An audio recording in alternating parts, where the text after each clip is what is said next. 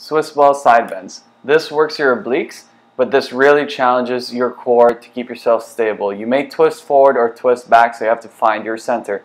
To start out, you can put your lower arm on the ball so you have more stability.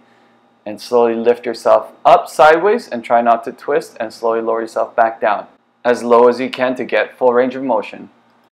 Here I have both arms up as I have found my center this variation makes it a bit harder as you are less balanced.